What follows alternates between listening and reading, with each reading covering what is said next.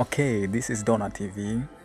Ya leo tunaletea habari kuhusiana na vita ambayo inayozidi kurindima huko Israeli na Palestine, ambayo vita hii imedumu takriban miaka mia moja na zaidi mpaka sasa, mababu na mababu ambao ndio ambao walioanzisha vita hii kutokana na ugomvi wa mipaka ama kuchukuliana baadhi ya maeneo.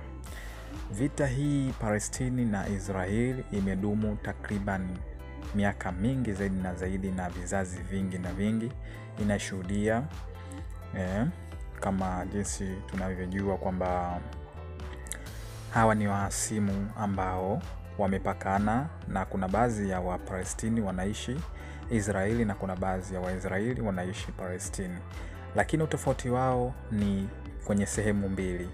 Israeli, asilimia kubwa ya Israeli ni wa Wakristo na Wajush, lakini Palestini ni Waislamu. Sasa vita hii ni vita ambayo inajumuisha pande zote mbili, kwa maana Wakristo na Wajush na hawa Waislamu. Lakini kiundani zaidi tuangalie nini chanzo cha vita hii. Chanzo kubwa ya vita hii Palestini na na Israeli ni kugombania maeneo ambayo yapo kwenye mipaka.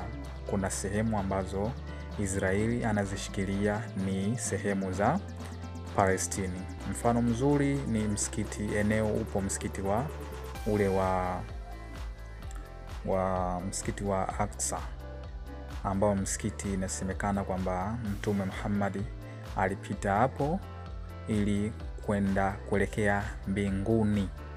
Kwa hiyo ni maeneo ambayo Waisraeli wa wanashikilia maeneo ya Palestini, lakini kuna kikundi ambacho kinaitwa Hamas. Kikundi hiki ni kikundi cha kijeshi ambacho ni kikundi cha kujitolea, wamejiunga wamejitengenezea jeshi lao ambalo la kuitetea nchi yao ya Palestini, na hivi sasa wamesema kwamba wapo tayari kuusha mabomu ya aina ya roketi zaidi ya elfu moja kuelekea mji mkuu wa Israeli kama wasipoachia maeneo yao.